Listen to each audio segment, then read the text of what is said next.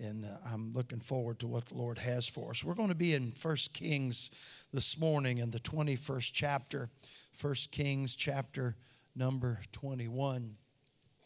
I'm going to carry this microphone around. It helps my throat a little bit. I was doing this one place. This fella said to me, he said, You look like Jimmy Swaggart when you carry that mic around. And I said, I wouldn't know. I've never watched Jimmy Swaggart, so.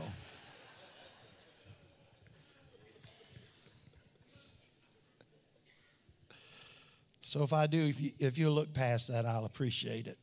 I'm going to read a few verses just to begin with, and then uh, we'll look at this uh, several things in this chapter.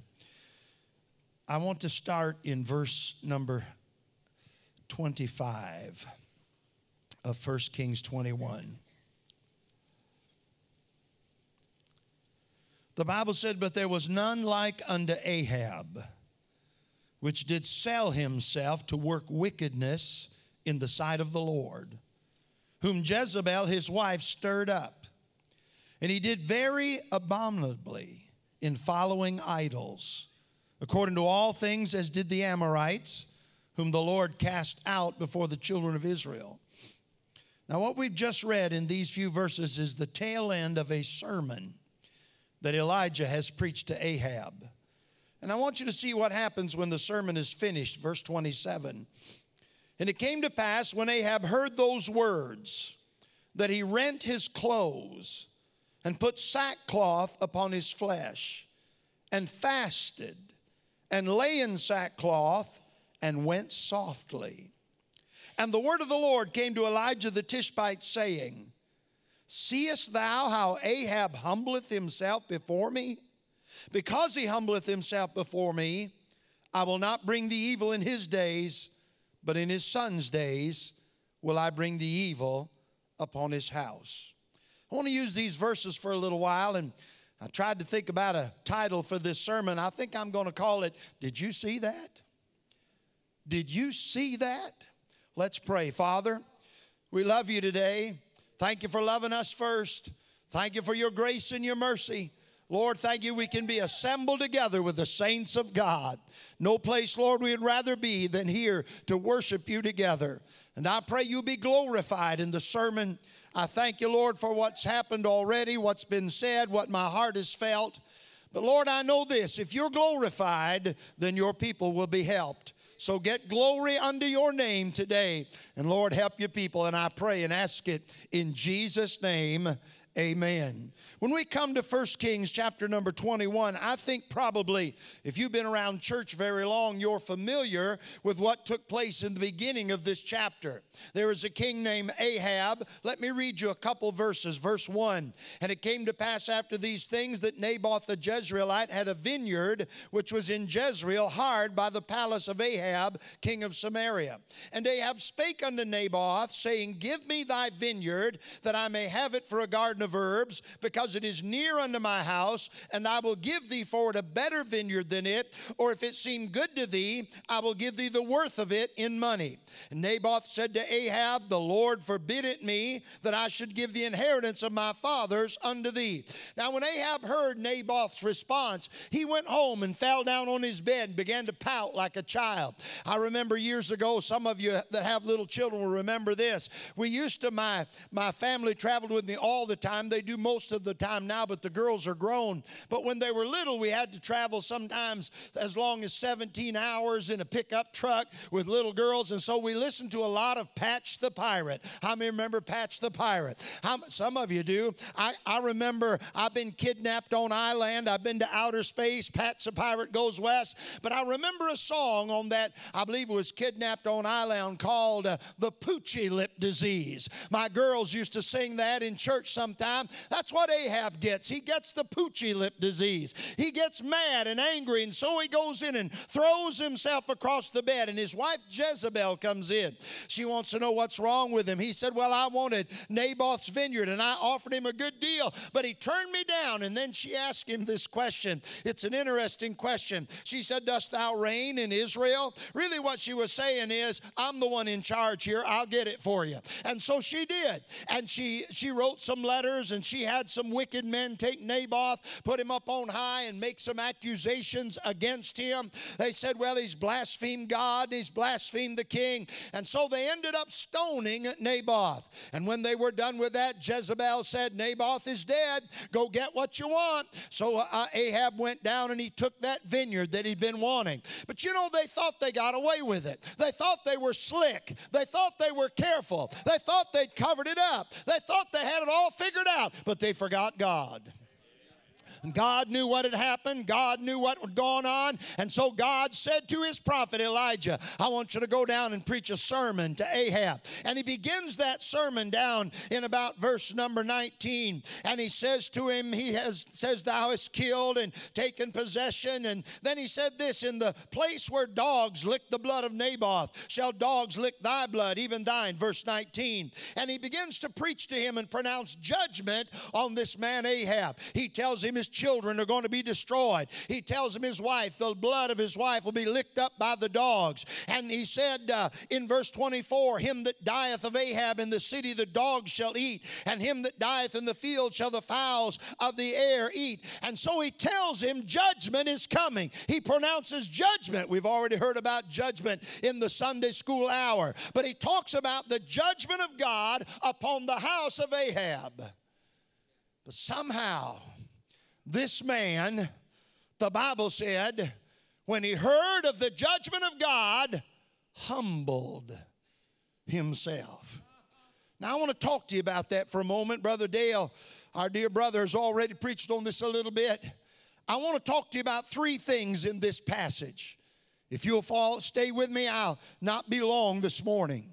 I want you to notice, first of all, the magnitude of Ahab's rebellion the magnitude of his rebellion. Look with me in our text in verse number 25. First, God will mention his standing. He said, But there was none like unto Ahab. When God looked and said, If you want to see a sinner, look at Ahab. If you want to see wickedness, look at Ahab. There's nobody that measures up to him as far as wickedness and ungodliness. I was reminded when I read that, God said about Job when he's talking to Satan, he said, Hast thou considered my servant Job, that there's none like him, a perfect man, upright, feareth God, escheweth evil? And so God said, If you're looking for somebody holy, if you're looking for somebody godly, uh, go ahead, take a look at Job. There's none like him. But he said, If you're looking for somebody wicked, if you're looking for somebody that's ungodly, if you're looking for somebody that's unrighteous, if you're looking for somebody like that, look at Ahab. In his standing, there is none like him.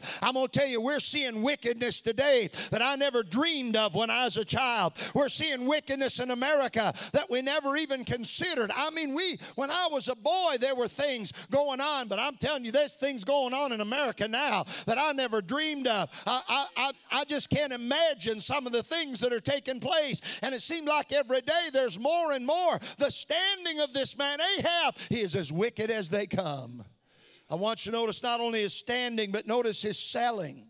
He said, But there was none like unto Ahab, which did sell himself to work wickedness in the sight of the Lord. Now, think about what God just said. Ahab's just not a wicked man, he has sold himself to work wickedness. Now, you think about this. If I own something, I'll do with it what I want. But if I sell it to you, it becomes yours, and you do with it what you want. Here's what Ahab did he took his life and sold it to wickedness wickedness, sold it to perverseness, and now wickedness will have its way in the life of Ahab.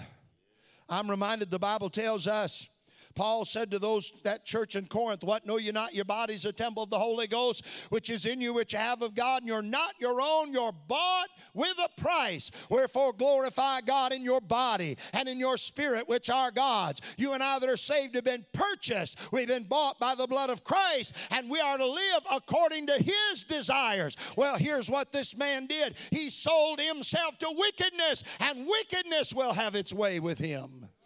Not only his standing and his selling, but notice his stirring in our text. But there was none like unto Ahab, which did sell himself to work wickedness in the sight of the Lord. Now, watch this. Whom Jezebel, his wife, stirred up. I'm going to tell you, the Bible said, Who can find a virtuous woman? Her, her value is high, far above rubies. But you talk about a wicked woman. You listen to me now. Isn't it good when there is a home and the husband and the wife are in agreement that their purpose is to serve God? Boy, that's a good thing when the Bible said, Whoso findeth a wife findeth a good thing. I tell you, 43 years ago, I found a good thing. I found a woman who is virtuous. I found a woman who feareth the Lord. Beauty is uh, vain, and, uh, uh, uh and our beauty is vain, and favor is deceitful, but a woman that feareth the Lord, she shall be praised. And I found a woman that fears the Lord, and what a godly woman she's been. And you know what she's done for 43 years? She has stirred me up to godliness. She has stirred me up to live for God. She has she has been uh, alongside of me and said, Let's do this for God. You know, I, I, we celebrated, we'll celebrate 43 years this year, but for 40 years of the 43 years, we've been, uh, well, 42 years now, we've been preaching. And for 30 years, preacher, for 30 years, we lived together, married for 30 years before we ever lived in a home that didn't have wheels under it. 30 years in a motor home or a fifth wheel trailer or whatever, a home that had wheels under it. After 30 years, we finally got us a home that doesn't have wheels under it. But you know, not one time did my wife ever say, I wish we'd settle down somewhere and stay. Not one time did she ever say, did she ever say, you know, I wish we wouldn't do this. You know what? She always said, let's do what God wants us to do. Let's go. Oh, thank God for a godly woman. But here is a woman that is wicked and ungodly, and she stirs her husband up to iniquity. There is his standing. Hey, can I stop and say this, sir? If you got a godly wife, then you better thank God. You better thank God for her. And if you don't have a godly wife, pray for her. Pray for her. Bring her along, nourish her, love her, bring her along, help her to grow. There's the standing, the selling, the stirring, and then here's this there's the stinking of Ahab. Now watch in verse 26 and he did very abominably in following idols. Now, that's an unusual phraseology there. I read in my Bible about what are abominations in the sight of the Lord, and there are several of them in the Bible. It is an abomination. And if you study the word abomination, it means a stench. You know, when Jesus died on the cross of Calvary, the Bible said, I think it's Ephesians chapter, uh, it may be three, maybe it's in Ephesians somewhere, where the Bible said that he offered himself up a sweet smelling savor unto the Lord. And all through the Old Testament, God is, is, is uh, described to us as having nostrils. He said, I'll not smell in your solemn feast. In Isaiah 53, the Bible said it pleased the Lord to bruise him. That word bruise is the term of a pharmacist who would take the mortar and the pestle and put the put the uh, medicine in and whatever it was or there, whatever ingredients, and then he would grind it to powder. And as he ground it, there would be a sweet smelling savor come up. And when Jesus was bruised on the cross of Calvary, God the Father leaned over the battlements of heaven and said, Oh, that smells good. Oh, that's a pleasant aroma. Oh, that's wonderful. Uh, when, it, when he did that on the cross of Calvary, it was pleasant in the nostrils of God. But in the Old Testament, when it talks about an abomination, it's talking about something that is a stench, something that if you get near it and get a whiff of it, it'll turn your stomach. But the Bible does not say that Ahab was just an abomination, it didn't say he just committed abomination, it said very abominably. Up in Indiana, at my pastor's house. They were gone away for about a week, and while they were gone, the electric went out. And when the electric went out, it was out for several days, and the freezer, everything in the freezer thawed. And they came home and opened up that freezer, and all that meat was spoiled in there. And it's, it was a stench. And their daughter, their grandson did not know what had happened, but the daughter knew. And so when the grandson Garrett came over, the daughter Jennifer said, Garrett, would you go out and get me something out of the freezer? So he went out there not knowing what was going on and lifted up the top of that freezer and just about passed out from the stench in there. When God looked at this man Ahab and thought about his life, here's what he said He stinks in my nostrils. He's a stench. His wickedness, his ungodliness, that's the magnitude of Ahab's rebellion. But I want you to notice something else. I want you to notice the measure of Ahab's repentance. Because Ahab, in a measure, repents when he hears what God has to say through the prophet. Now, watch what it says in verse 27. And it came to pass when Ahab heard these words. Now, here's the first thing I want you to notice Ahab heard these words. That's a miracle in itself. That's a wonder in itself that Ahab would listen to what the man of God had to say. Somebody said, Preacher, I want America to get right. I want to get right. Well, I tell you what, I want America to get right, but let's narrow it down a little bit. Let's you and I get right with God. Let's you and I humble ourselves. You say, Oh, preacher, how's it start? It starts by hearing the word of God. It starts by listening to what the man of God said. It starts by listening to what the Holy Ghost says to us in the word of God. I tell you, thank God that somebody's interested this morning in what the word of God has to say.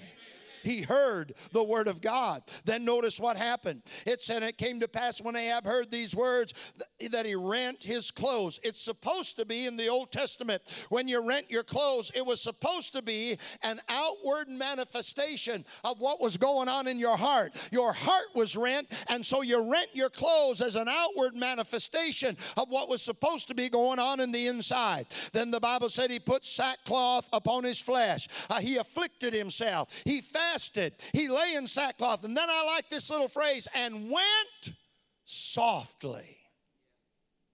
So, preacher, what does that mean? Well, you, if you're a parent, you know what it means. Did you ever, did you ever correct a child and they didn't talk back to you, but when they went out, they slammed the door? They were letting you know they didn't agree with what you had to say. Or they didn't talk back directly to you, but they went,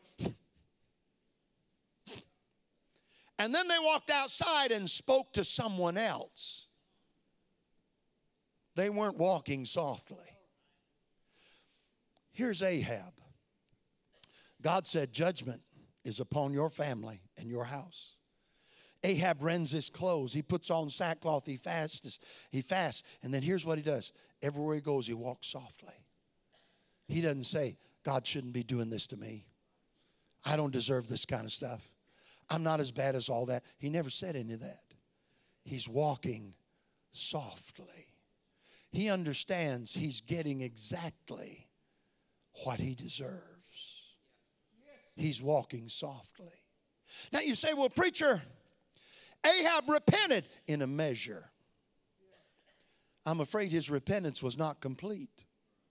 He went through these motions. He rent his clothes. He put on sackcloth. He fasted. He walked softly. But here's what he didn't do he, he didn't give the vineyard back. You remember when Zacchaeus got right with God? He said, The half of my goods I give to the poor. And if I've taken anything from any man wrongly, I restore him fourfold. You see, there's something lacking in this repentance. There's a lot of outward manifestation, but there's no real action. He didn't give the vineyard back. I don't read about it anywhere. I'll tell you what else he do. He did not rebuke his wife. He did not speak to Jezebel and say, you know, we shouldn't have done this. It was wrong. He did not do that. You know what else he did not do? He did not abandon his idolatry because we'll find him in the next chapter. And Jehoshaphat comes and they're going to go to battle together. And so Jehoshaphat says, Get us some men of God, get us some prophets so we can find out whether we ought to go to battle or not. And so Ahab calls in the prophets of the groves, the idolatrous prophets. And the reason he calls them in is because they're going to agree with everything he says. And when Jehoshaphat hears what these men say, he said, Nah, something ain't right here. Something's not right. He said, Ain't there a man of God around here? Isn't there somebody from God around here that can talk to us? Can't we hear from somebody else? And here's what Ahab said He said, Well, there's one, but he said, I hate him. And I'll tell you why I hate him. He never speaks good to me. He never says I'm all right. He never he never pats me on the back. He never said, "Well, you're a pretty good fellow, Ahab." He said, "I don't want to hear from him." What's the problem with Ahab? He has worldly sorrow, but not godly sorrow. Paul talked to us in the New Testament. He said, Godly sorrow worketh repentance unto salvation, not to be repented of, but the sorrow of the world worketh death. Here's the problem with Ahab he sees the judgment of God, and he does not want to experience the judgment of God. And so he does the best he can to try and humble himself, but he's unwilling to turn from his sin. He's unwilling to finish his repentance. He's sorry he got caught, but he's not sorry about what he did. I remember some years ago, Brother Jack Tripp was preaching a meeting with me, and he said this, I'll never forget it. He said, People say to me, Preacher, how do I know if I really repented? He said, Here's how you know if you ever really repented, you're still repenting if you ever really started, you're finishing it. You're going on with it. It's none of this, none of this one time day. I felt a little bad about it. Here is a man, his repentance was not complete. And yet, and yet, look what happened. Now, listen to me. I'm about done. Listen to me, please. Verse 29. Here is a man who did not completely repent. His repentance was incomplete, but he did humble himself. And look what happened. Verse 29. God speaks to Elijah. I, I, would like to have heard this conversation. God says to Elijah, Did you see that? You know, there's not many things I think I think that would get that kind of response out of God because he knows the beginning from the ending. And yet God looked at Ahab and said, "Did you see that? Elijah, seest thou?" I I I I don't know, maybe I'm wrong about this. I take a note, I, I take notice, a note of surprise in the voice of God. Uh, and he's incredulous a little bit about this. I know he knows everything, but I'm looking at it. He said, Elijah, did you see what happened? Did you see what Ahab did? Did you see that? I want you to notice that the humbling, even of a wicked man who is alone in his standing, who is stirred up by his wife, who has sold himself to wickedness, even that man, when he humbled himself, he got the attention of Almighty God. So that God said, Did you see that? Did you see what he did? Did you see? Oh, dear friend, would you think about it a moment if a man like Ahab, who is unwilling to completely repent, will humble himself and get the attention of God? I wonder what would happen if people all over the place that love God would humble themselves and say, Lord, I'm turning from my sin, I'm turning from my wickedness. I wonder what we'd get from God. Here's a third thing I want to say to you. I want to talk to you about the mercy in God's reprieve. Because you know what the definition of mercy is? It's the withholding of deserved punishment. I used to say it like this two great words in our Bible grace and mercy. Grace is when I get what I don't deserve, and mercy is when I don't get what I do deserve the withholding of deserved punishment. And so here is Ahab. Judgment has been placed upon his house. He is under the judgment of God. But when he humbles himself, that's all he did. He humbled himself. Basically, he said, Lord, you're right and I'm wrong. He humbled himself. And when he did, God gave him a reprieve. God said this. He knew it, he knew his repentance wasn't complete. He knew that, but he saw that humbled heart. He saw that humbled man. And he said this He said, uh, I will not bring the evil in his days, but in his son's days will I bring the evil upon his house. He got a reprieve because he humbled himself. Now, this brings to my mind three things. I'm going to give them to you. First of all, it tells me that God sets great store by his mercy. God sets great store by his mercy. You know what the Old Testament prophet said? He said of God, He delighteth in mercy. Is there anything in your life that delights you? I think golfing must delight the preacher. I, maybe not anymore, but I, you know, I always thought golfing was a sin if you could have went fishing. There's something about the fishing. I, my family, we go fishing, and I, I, go up to the Upper Peninsula every year where I used to pastor. That a lot of things go on. The young people we used to pastor, they're all grown and married and have kids, and they'll meet us down for a bonfire every night. We have a time. But we're going up there to catch walleye so we can have it. That's our Thanksgiving dinner, walleye. There's something about throwing that thing out there and lifting that jig up off the bottom of that uh, lake, and all of a sudden feeling that weight on there. There's just something about it. I delight in it. I enjoy it. I look forward to it. I make plans to get to do it. I only get to do it about once a year, but I look forward to it. You know what I think about mercy? I think God delights in it. I think He looks forward to it. I think He makes plans to get involved with it. He delighteth in mercy, so much so that another prophet said in wrath, Remember mercy, His mercies. Thank God for a merciful God. I look at this and I say to myself, God must love mercy if He'll show mercy to a man like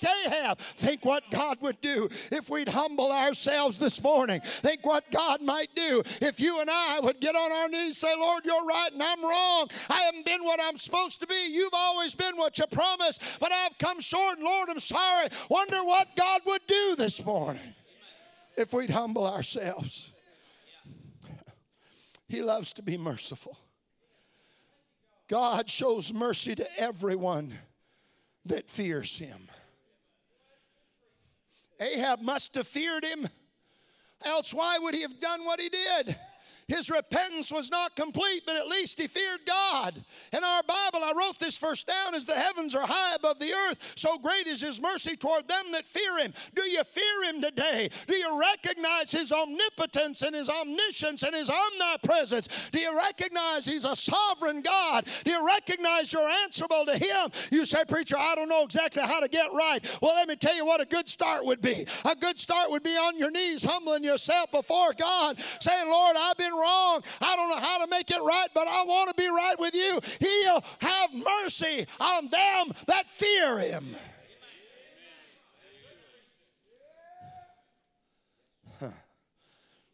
Here's the last thing God saves the truly repentant for eternity because of his mercy.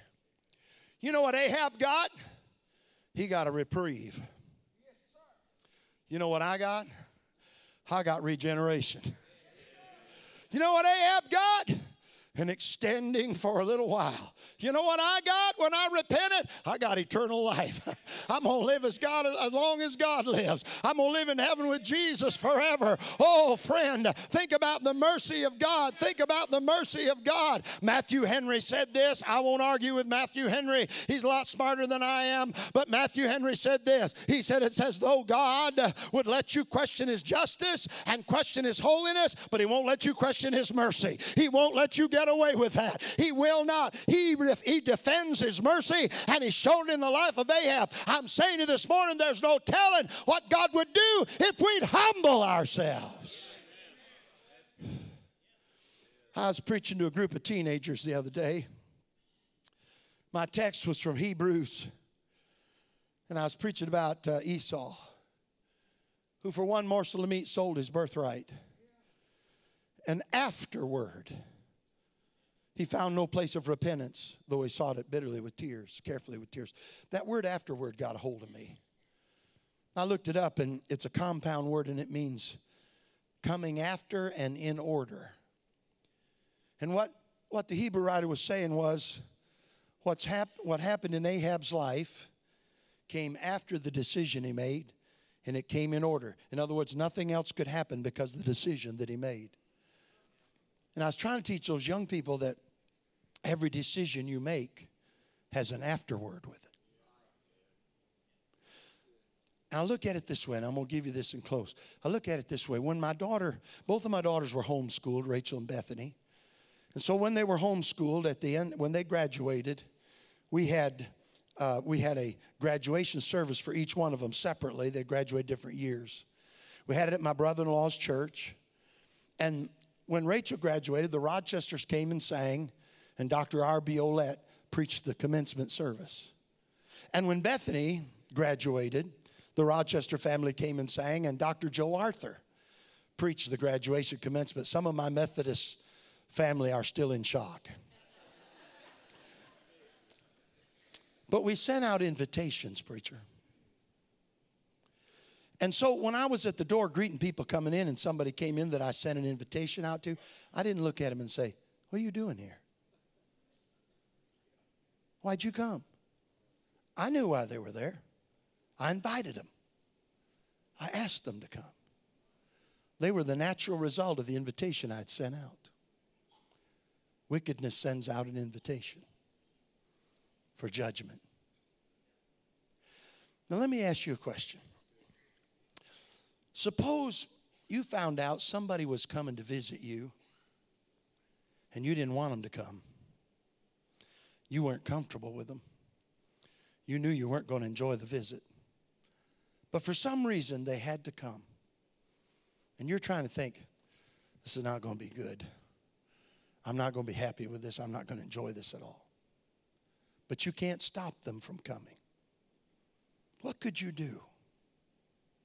Here's the only thing you could do you could find somebody you were comfortable with and invite them to come at the same time.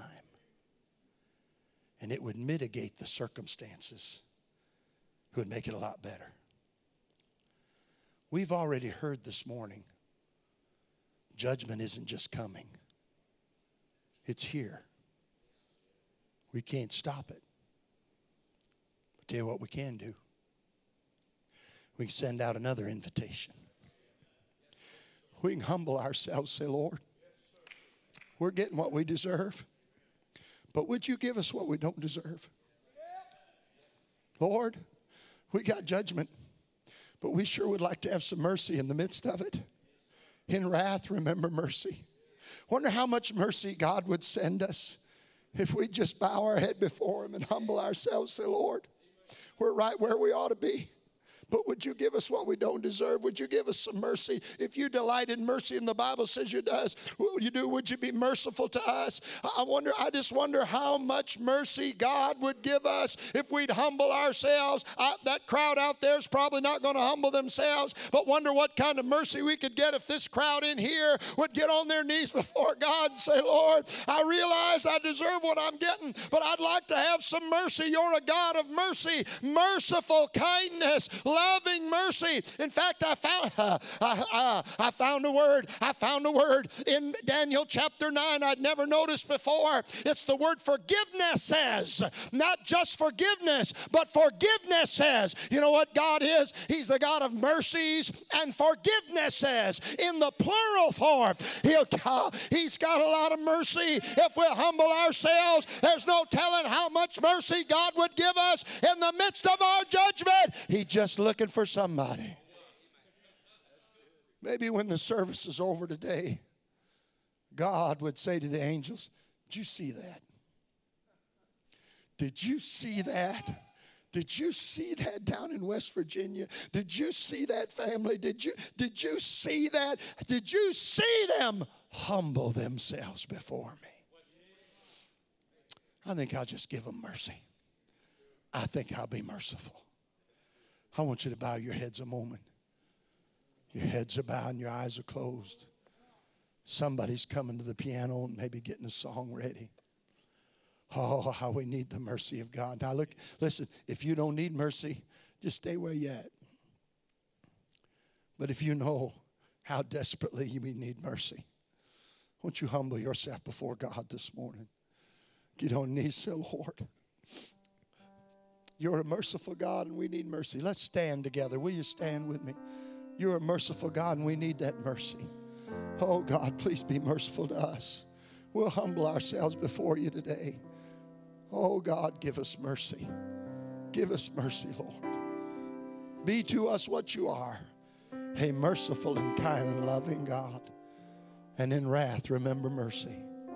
Would there be, while we're standing, our heads are bowed and some are at the altar, would there be some this morning say, Preacher, I'm not saved. I don't know anything about God's mercy. I, I don't know the Lord. I know I'm wicked and I need help. Would you pray for me? Is there anybody like that? You lift your hand up and let me see it. Is there anybody like that? Let's pray, Father. Help us now in this invitation. Help us to humble ourselves. And we pray for the mercy of a kind and merciful God. In Jesus' name, amen.